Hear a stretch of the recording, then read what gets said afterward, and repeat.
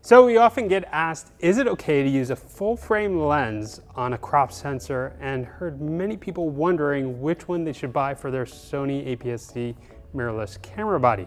So there's a lot of confusion out there about what the difference is between full frame lenses and APS-C lenses. Now in this video, we're gonna show you the difference between these two types of lenses, how it affects the field of view, and how it may affect image quality. Stay tuned. As you may know, Sony makes mirrorless cameras with APS-C sensors and full frame cameras. Now the a6000 series has an APS-C size sensor, so that would be the a6000, 6300, 6400, and 6500. The full frame series are the A7, A7R, A7S, as well as the flagship A9. Sony has a full lineup of lenses that are designed to be used with either the APS-C sensor bodies or the full frame sensor bodies. What happens when you switch it up? You're about to find out. So for this, we'll be using the A6400 and the A7 III to illustrate the difference between these types of lenses. On the lens itself, you'll see that it says E-mount in white lettering near the barrel of the lens. Now, all lenses for the Sony mirrorless cameras say E-mount on them referring to the physical mount of the lens.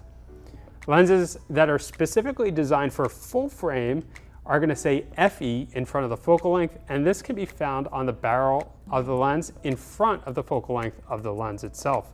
Now it can also be found on the front of the lens inscribed in a circle around the glass element. An important thing to understand when comparing a full frame lens and a lens designed for APS-C sensors is that the focal length does not change. So this 35 millimeter lens, this 35 millimeter f2.8 FE lens, and the 35 millimeter f1.8 E mount share the same focal length, but their apparent field of view will be different when comparing them side by side. The 35 1.8 on the A6400 will have a narrower field of view than the FE version on the A7 Mark III. Now, when you hear people talking about the crop factor, it's actually going to refer to when you mount an FE lens or full frame lens onto a camera like the A6400 that doesn't have a full frame sensor. As I mentioned, the focal length isn't changing. The field of view will be like that of an E-mount lens, but what's happening inside is a bit different. All the lenses project an image circle and the size of the image circle depends on the format of the lens. So FE lenses are going to project a larger image circle than that of the E-mount lenses. And when you attach an FE lens to an A6400, the additional information that the lens projects onto the sensor will be cropped out. Hence the crop factor everybody is talking about. Now lenses designed for the APS-C size sensor will project a smaller circle or just enough to fill the smaller sensor, which tends to make the lenses smaller and more affordable. This is great for people who want to carry around a smaller camera kit. Now, once again, a 35 millimeter is always a 35 millimeter. The focal length doesn't change. What changes is the field of view. If you want to figure out the equivalent field of view when comparing the two cameras, multiply the focal length by 1.5 times. Now when you do this, the apparent field of view of the 35 millimeter lens on an A6400 will be equivalent to that of a 52.5 millimeter on the A7 Mark III. Some say that using a full frame lens on an APS-C body has its benefits because you're only using the center portion of the image projected onto the sensor Hence, you discard or crop out the edges of the image circle, which tend to be the weakest portions of the lens. Now, the edges are typically where you would see the lens distortion, lens flare, and chromatic aberration. This point is debatable, and we have not done serious tests yet to prove this, but I'd like to hear your responses. Now, perhaps this is something you should decide by looking at the lens itself. Overall, the size, price, maximum aperture, and optical quality. That being said, Sony allows you to mount APS-C lenses on full frame bodies, but that comes at a loss of resolution.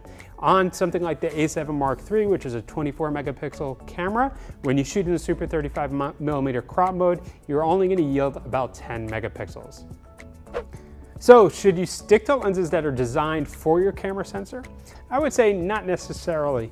When you need extreme telephoto, Sony only offers a 55 to 210. So that's where I would recommend using either the FE 70 to 300, 100 to 400, or even the new FE 200 to 600 millimeter lens. Now, if you're shooting 4K on the a7R Mark III, that would be a terrific opportunity to use the crop sensor lenses because the camera performs best in the Super 35 millimeter crop mode. Now, one of the advantages of having smaller lenses is that they balance better on a handheld gimbal when recording video. Also, a lot of photographers I talk to will purchase full frame lenses for their APS-C sensor bodies because you know what, they know they're gonna want to switch to full frame in the future and there are more lenses to choose from.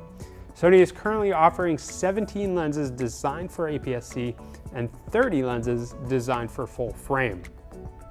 So what lenses do you tend to use on your Sony camera, full frame or APS-C? I'd love to hear your experiences using different Sony lenses, so please leave your feedback, comments, and questions in the description box below. If this video helped you understand, give us a thumbs up and subscribe for more great content. Adam here, I'll catch you in the next video.